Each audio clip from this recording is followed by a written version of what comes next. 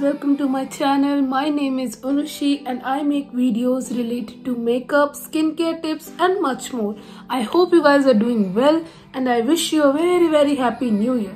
So if you guys want to know how I created this makeup look, so please keep on watching. Starting with the skincare, here I'm using this Johnson's Baby Wipe to clean my face. This is very gentle on the skin and yet cleans better and far more efficiently. The next step is hydrating your lips and here I'm using this Vaseline Cocoa Butter Jelly. Moving on to the face moisturizing, I'm using my all-time favorite cream from Johnson's. This is very lightweight and fast absorbing formula which keeps my skin hydrated and non-sticky. Make sure to blend it properly. And yes, don't forget your hands too. Now I'm using this face primer from Flower Beauty. I'm gently applying out a pea-sized amount onto my pores and the major regions of my face. Now I'm generously spreading this for the smooth base. This delivers a soft matte finish and has a non-greasy formulation. After primer, I'm gonna color correct my under eyes and the pigmented areas of my face. I'm using this orange color corrector from the Swiss Beauty Cover Studio Ultra Base Concealer Palette in the shade 02. Now with the help of a flat concealer brush, I'm gently depositing the product onto my under eye areas. Firstly, dabbing the product and then gently spreading it on the problematic areas will give me a perfect canvas. Make sure to use an orange or a peach color corrector in a desired amount, not more than that.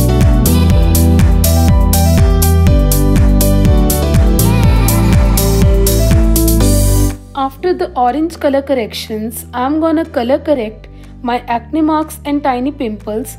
The corrector I'm using here is from Kryolan Supra Color. The texture of this corrector is very creamy and lightweight. I'm using this beauty blender to spread the product. This helps in soaking the excess product from the skin and helps in blending the cream based products very smoothly.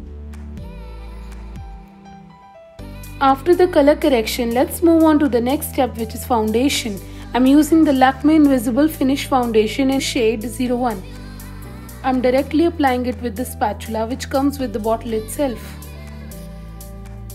Here I'm covering all parts of my face without ignoring the neck area. Using this buffer brush, I'll be spreading the foundation in a dabbing motion into my skin. Make sure not to drag the brush otherwise it will leave your skin patchy and cakey. Take your time in blending the liquid products as this will ensure that the base is perfectly done. Hold your brushes from the midway with a very light hand. Never apply too much pressure while blending and buffing the products. Now I'm taking that same Swiss Beauty concealer palette and using the concealers to highlight my under eyes bridge of the nose, cupid's bow, chin area and the, below the cheeks.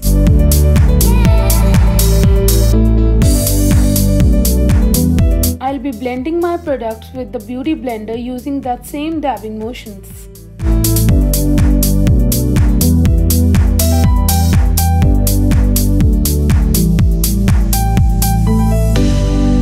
Moving on to setting the base, I'm using this all set to go banana powder from Sugar Cosmetics. This comes with this tiny puff applicator but I'll be using my Focallure powder brush to set my face.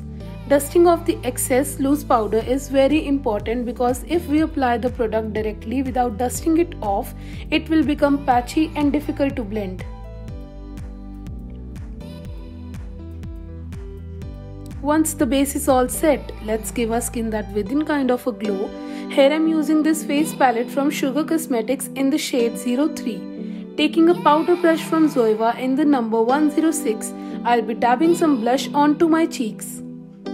The formulation of these powders is super pigmented so I decided to blend my products with that same beauty blender. I was using this palette for the very first time and was quite impressed with the color pigments. And if you are looking for a 3-in-1 face palette then please go for it. this was a very medium coverage look so I used the products in a small quantities but if you want a full coverage base then you can use the products twice as they are buildable and won't look cakey at all.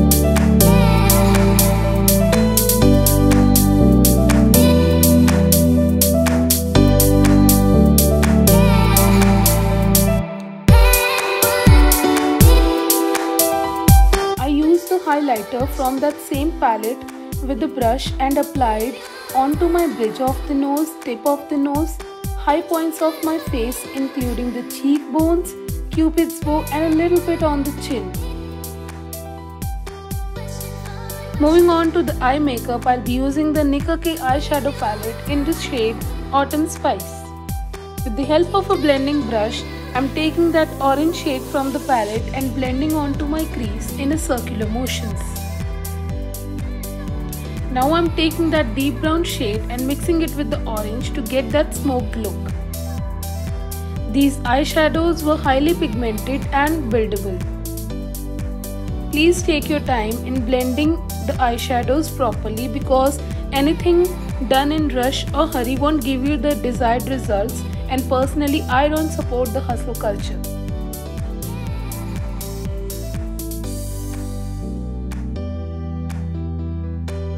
Using that same concealer palette and the concealer brush, I'll be applying that on my eyes to create a cut crease look.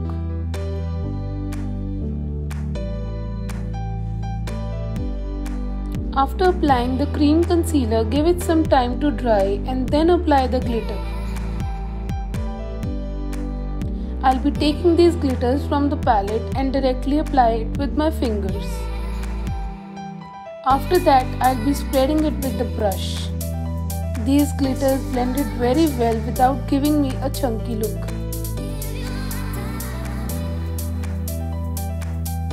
The pigmentation of these shadows were eye-catching.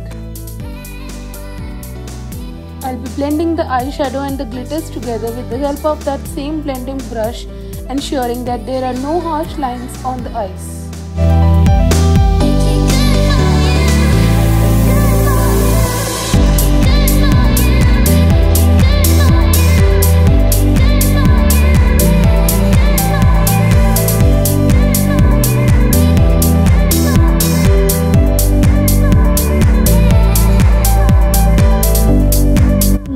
I'm taking a pencil brush and picking up that brown shade from the palette and applying directly under the waterline of my eyes.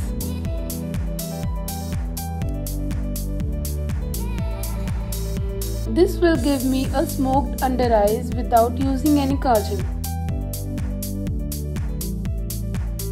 And after that, I'll be using this Maybelline gel liner in the shade black and I'll apply the gel with the help of a liner brush onto my eyes. I'm dipping the brush properly and using it with a very light hand to create a perfect wing liner for this makeup look. This liner is a cult favorite product.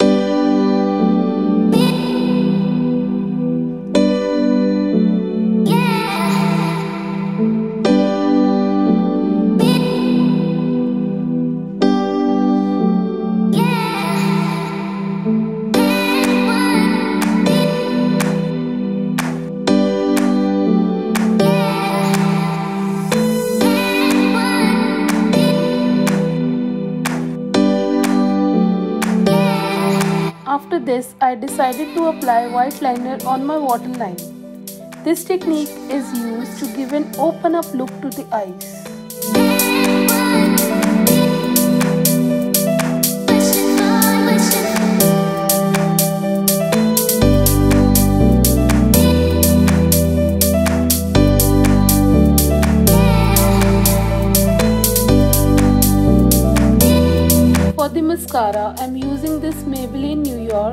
Lash Sensational Mascara in the shade Waterproof Black. The wand of this mascara is very wide and it is easy to handle. This is my all-time favorite mascara and I'm using it from last 4-5 years. This gives length and volume to the lashes and is quite affordable. Now it's time to apply some falsies and I applied it off camera and look at them. Dramatic eyes are back. This is my favorite part in the makeup routine. I'll be shaping my brows with this Sugar Arch Arrival Brow Definer in the shade 04. That is dark blackish brown. Using this spoolie side of the pencil, I'll be brushing my brows and then filling it with the other side. Take your time in filling and blending your brows. This spoolie side is very soft and the pigment of the pencil is very natural that will give you a precise brows. The color payoff of the product was very good.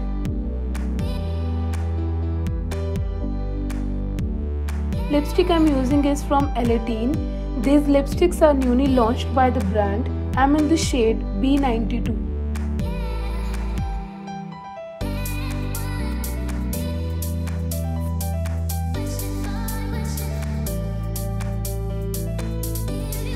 Finishing the makeup and setting down the base, I'm using this Faces Canada Ultime Pro Makeup Fixer.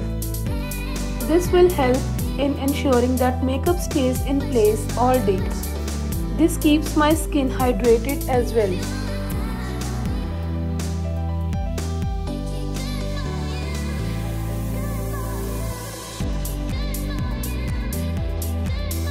And yes, the makeup is done and I'm all set to slay. What you do is not the point, it's the level of involvement within you that transforms you. This was a quote by Sadhguru which motivated me to leave my comfort zone. Comment down below which part you liked the most. So yes, this is the finished makeup look and if you guys like this makeup tutorial, please subscribe to my channel. Until then, see you next time. Bye.